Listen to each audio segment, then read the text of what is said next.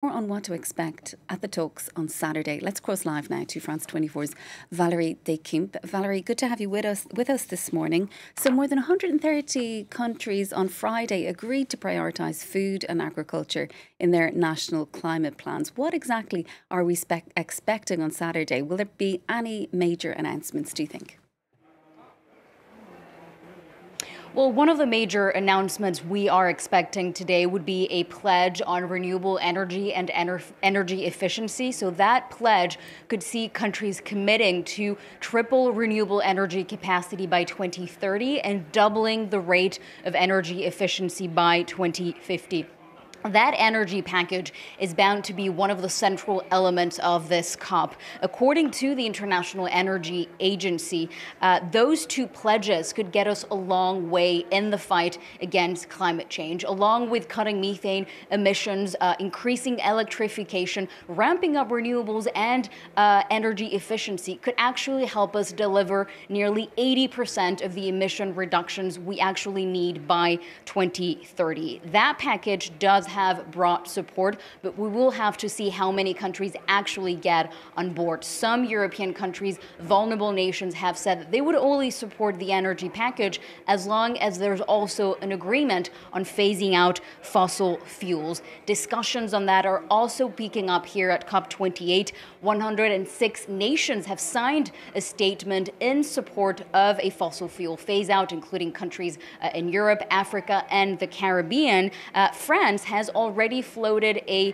plan to help emerging economies move away from coal capacity. We're also expecting more details on that proposal later today. And we're also looking out for Colombia. Colombia will also be announcing a plan uh, for a fossil fuel non proliferation treaty later today.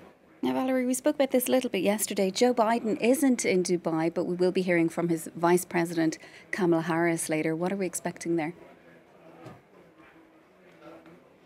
Well, it was a last minute decision for Kamala Harris to come here to Dubai. She had no plans to attend the summit, uh, but the announcement came after criticism of Joe Biden's decision uh, to skip the summit. So, U.S. climate envoy John Kerry is in Dubai as well, along with uh, two other climate and energy advisors. Uh, and the presence of the U.S. at COP28, of course, is crucial as one of the world's biggest uh, polluters. The White House has said that their uh, is very clear, referring to uh, Joe Biden's agenda on ramping up clean energy with the Inflation Reduction Act. But some climate observers do have doubts over uh, the U.S. Uh, position on phasing out fossil fuels, another contentious uh, potential deal here at COP28. So far, the U.S. has been giving mixed signals. Officially, as part of the G7 group of nations, the U.S. has supported a phase out of unabated fossil fuels only. That means that refers essentially